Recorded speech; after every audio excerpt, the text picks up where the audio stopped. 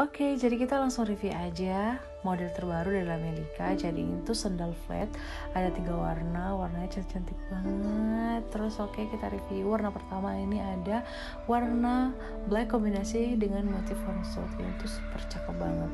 Dan kedua ini ada warna kombinasi black sama black karena banyak banget yang request uh, produksi warna netral. Terus ketiga favorite color ini tuh warna kombinasi warna black dan juga warna mocha aduh kalian harus wajib punya